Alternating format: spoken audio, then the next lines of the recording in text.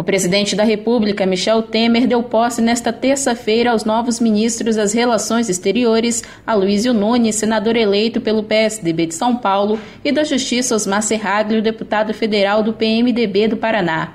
A cerimônia aconteceu no Palácio do Planalto, com dezenas de convidados, incluindo parentes dos novos ministros, parlamentares e demais integrantes do governo. No cargo, o ministro Aloysio terá de lidar com questões como as relações do Brasil com os Estados Unidos e as negociações do acordo comercial entre o Mercosul e a União Europeia. O novo chanceler citou o momento atual vivido pelo país, que definiu como de confiança. A situação do Brasil hoje é uma situação que começa a trazer novamente a confiança. Né? Então, eu penso que a tarefa de trazer investimentos é uma tarefa facilitada pelo conjunto da obra governo e do esforço do brasileiro, não é uma coisa apenas do Itamaraty. Aloysio Nunes está assumindo o Itamaraty no lugar do também senador do PSDB, José Serra, que estava no cargo desde maio do ano passado. O novo ministro falou dos planos da pasta para tirar o Brasil da maior recessão econômica da história, além de universalizar as relações internacionais da nação brasileira. Sobretudo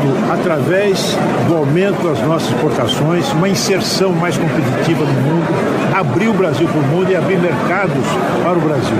Eu acho que, sobretudo, através do comércio internacional. Penso também em matéria de atração de investimentos, essa, essa expressão que eu vi agora, vender o Brasil, mostrar o que é o Brasil para fora. É, é uma grande potência agrícola, é um país que vela pelo meio ambiente, é um país democrático, um país que tem instituições sólidas. Aloysio Nunes é advogado formado pela Universidade de São Paulo, a USP, com pós-graduação em Ciência Política e Economia Política pela Universidade de Paris. O tucano também viveu como exilado na França de 1968 a 79 por ser contrário à ditadura militar. De volta ao Brasil, foi duas vezes deputado estadual em São Paulo, vice-governador do estado e deputado federal por três mandatos.